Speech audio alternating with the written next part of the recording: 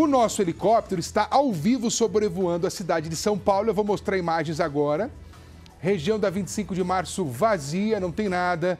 As restrições, atenção, valem para hoje, sexta-feira de Natal, amanhã, sábado, dia 26 e domingo, dia 27. Depois volta a valer a partir do feriado de Ano Novo, nos dias 1 de, de, de janeiro, dias 2 e também dia 3. Dia, então é dias 1, 2 e 3, tá bom? De janeiro.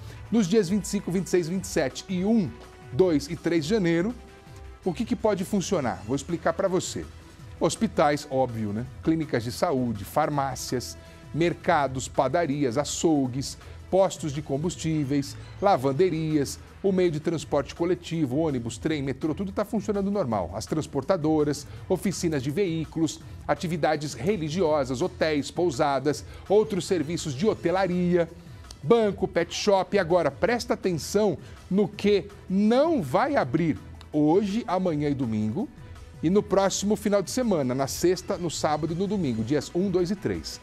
Shoppings fechados, lojas fechadas, concessionárias sem escritórios fechados, bares, restaurantes, lanchonetes, com exceção do sistema de delivery academias fechadas, salões de beleza também, barbearias também, cinema, teatro, estabelecimentos culturais, todos esses locais permanecerão fechados. Renato Lombardi, como que você vê essa decisão do governo do estado na tentativa de frear essa disseminação do coronavírus aí?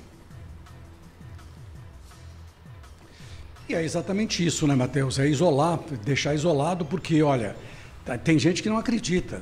Tem gente que não acompanha, ou tem gente que ouve a notícia, como a gente brinca, entra por um ouvido sai pelo outro. Porque nós temos uma pandemia tão grave que se agravou muito mais ainda, porque a pandemia veio grave, depois deu uma afrouxada, ela caiu bastante, não é? Todo mundo achava que realmente tinha passado, e aí ela continuou. E ela continuou mais agressiva ainda. Então as pessoas precisam entender isso sim. É importante é o isolamento, tem que se isolar. Agora, de um fim de semana, são três dias de fim de semana. A gente já fez tanto sacrifício, a gente está fazendo sacrifício desde o começo de março, desde o dia 17 de março. Bom, dia 13 de março foi o primeiro caso no, no, no Brasil. De, desde então, nós fizemos tanto, tanto sacrifício. Agora vamos fazer mais um pouquinho, porque, olha, vai chegar a vacina, a gente se vacina e a vida que segue, Matheus.